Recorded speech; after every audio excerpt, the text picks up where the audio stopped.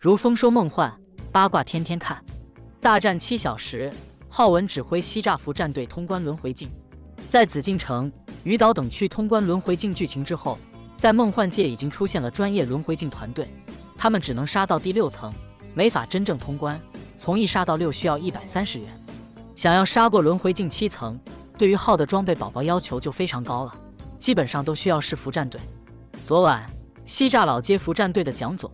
为了通关轮回境七层，专门刷了几个大火箭，请了浩文坐镇指挥。在杀怪方面，浩文确实是非常专业，他更是猴粉口中的轮回境第一指挥。在他的专业指挥下，从第一层到第六层，整体杀得非常顺利。不过最后的第七层，让他们经历了无数次的失败。